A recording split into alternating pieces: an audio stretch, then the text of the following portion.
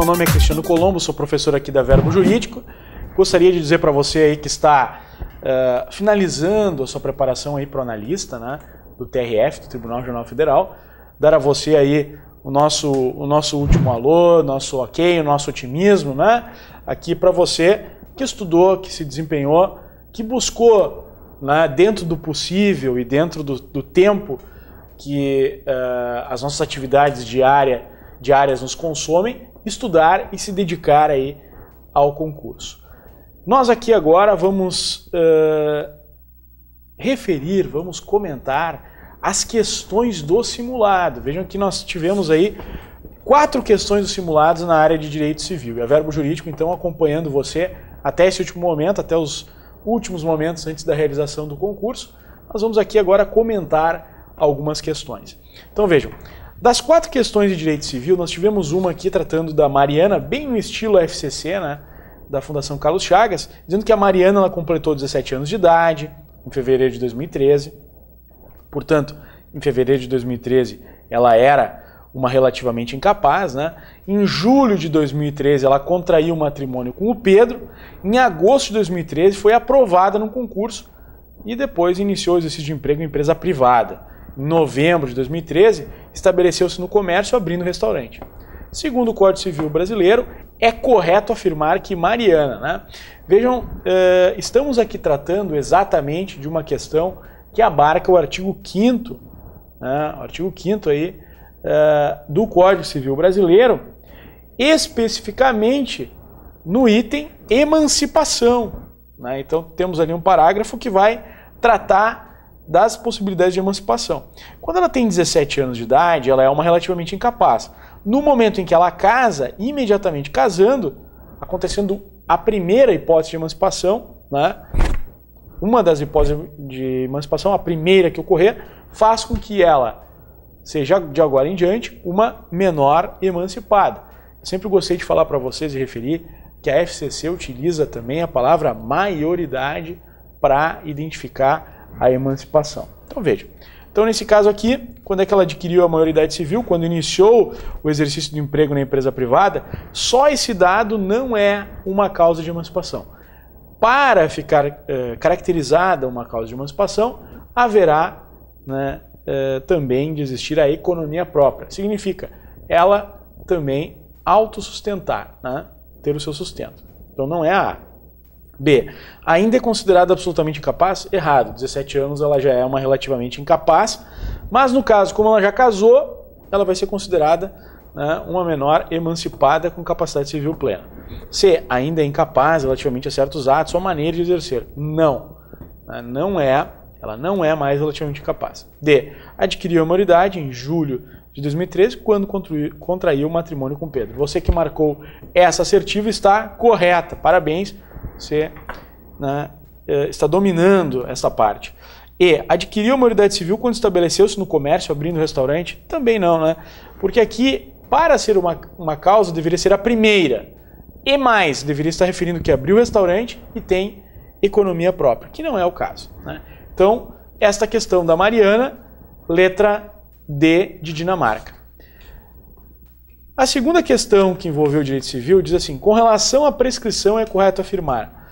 Gente, prescrição, decadência, tem que dar uma olhadinha nos artigos do código, né? Porque normalmente a FCC, quando pergunta, ela acaba indo bem pelo dispositivo. Então vejam, aqui ela começa, ela pegou todos os dispositivos, esse é um exemplo maior aqui, né? Ela pegou os dispositivos, transformou em alternativas e alterou alguma coisa.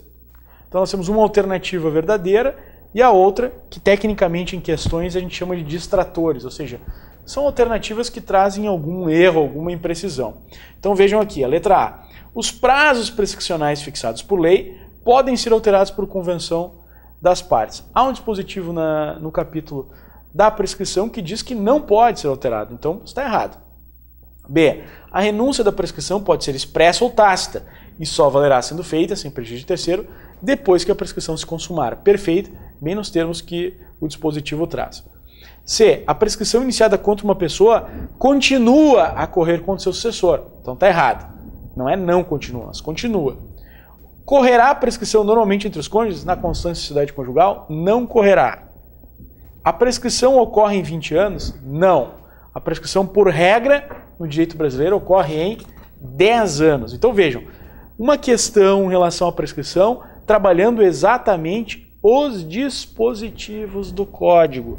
Aliás, a literalidade dos dispositivos, mudando com pequenas mudanças. Vejam, colocando um não onde não tem, tirando um não onde deveria estar, né? cobrando um prazo de prescrição. Lembrem que os prazos de prescrição 205, 10, né?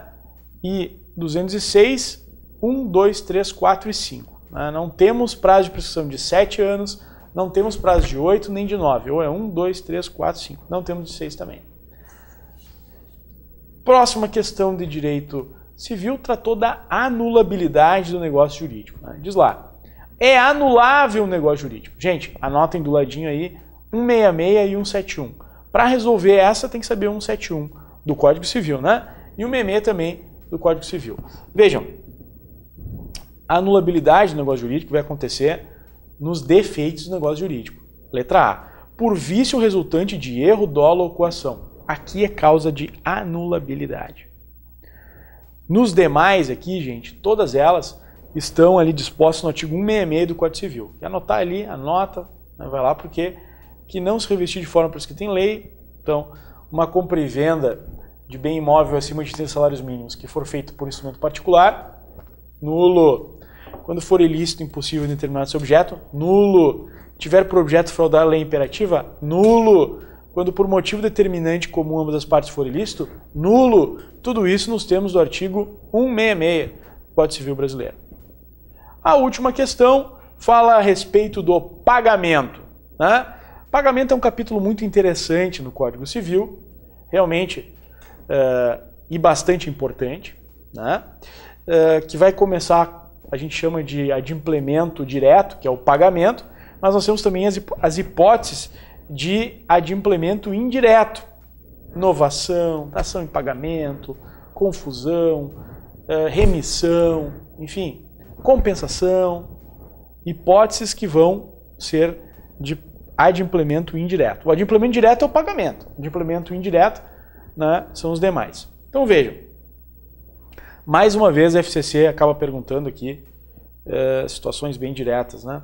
O credor é obrigado a receber prestação diversa daquele devida se for mais valiosa? Ainda Aí, olha ali, o credor é obrigado a receber prestação diversa daquele devida se for mais valiosa? ainda que seja mais valiosa. Então, está errado aqui, né? A dação em pagamento tem que ter um consentimento, tem que ter o um consentimento uh, aqui do credor e ainda, né? Vejam, nesse, nessa, nesse específico aqui, nesse específico aqui, diz lá, né? Diz lá, receber prestação diversa que lhe é devida, só se houver consentimento e ele pode se negar ainda que seja mais valiosa. Ele não é obrigado. 2. O pagamento de fe feito de boa fé ao credor putativo é válido, ainda que provado depois que não era o credor. Ok, certo. Né? Quem é o credor putativo? É o credor aparente. O credor putativo ou credor aparente, sabemos nós aqui, quem vai lá e efetua o pagamento de boa fé a esse credor putativo ou aparente tem a quitação. É lícito convencionar o aumento progressivo de prestações sucessivas? Ok, é lícito sim. O próprio código estabelece isso. Então ficamos aqui com a alternativa 2 e 3, letra D, Dinamarca. Senhores, então aqui finalizamos então o nosso comentário de questões, essas quatro questões que caíram no simulado. Atentos, né, gente? Falamos aí, revejam aí as causas de emancipação, lembrem, né? O casamento é uma causa de emancipação. Eh, não só passar no concurso, mas exercer o emprego público efetivo também é uma situação. A questão da economia própria, nessa né, classificação que existe uh, da emancipação, entre emancipação voluntária, judicial, legal. Né? Lembrem do, da questão da prescrição, muita, muito detalhe importante.